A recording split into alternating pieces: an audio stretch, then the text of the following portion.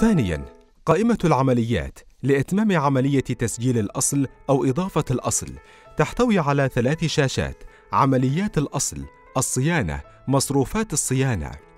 أولاً شاشة عمليات الأصل هي الشاشة الثانية لتكملة عملية تعريف الأصل يمكنك الوصول لها من قائمة العمليات المنسدلة من الأصول الثابتة. اختيار شاشة عمليات الأصل ثم النقر على زر إضافة جديد ثم أدخل رمز الأصل. سوف يظهر اسم الأصل في مربع اسم الأصل.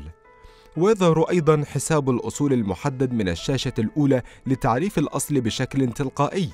يمكنك تحديد نوع العملية، القيمة الافتتاحية، المشتريات الجديدة، مباعة، تالف، الإهلاك، تقدير، إعادة تقييم، ثم ادخل تاريخ الشراء في حال كان الأصل مشتريات جديدة، إدخال رقم المرجع وهو رقم فاتورة الشراء.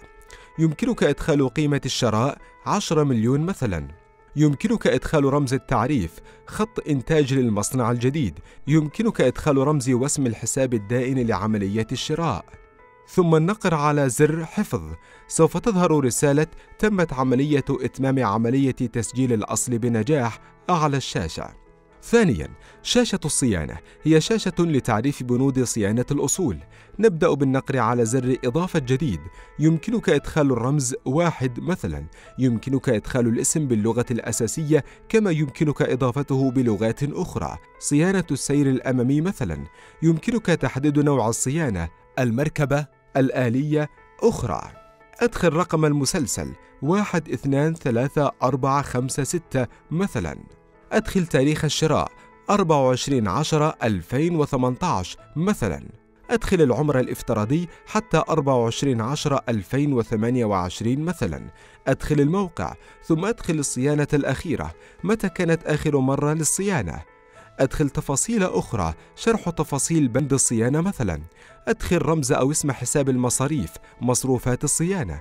سوف يظهر الاسم مصروفات نثرية مثلا ثم بالنقر على زر حفظ. ثالثا شاشة مصروفات الصيانة. لإدخال عمليات الصيانة التي تتم على الأصل لتتمكن من إدارة ومتابعة صيانة الأصول والرقابة على الصيانة الدورية لها ومعرفة إن كان الأصل تتم عليه عمليات صيانة كثيرة فيتم استبعاده واستبداله بأصل جديد. نبدأ بالنقر على زر إضافة جديد ثم ادخل رقم المستند 45 مثلا ثم ادخل تاريخ المستند 24 10 2018 ثم ادخل كود الصيانة واحد مثلا. يمكنك البحث بالاسم صيانة سير أمامي مثلا ثم ادخل مبلغ الصيانة ثم ادخل التعريف. شرح عن عملية الصيانة مثلا.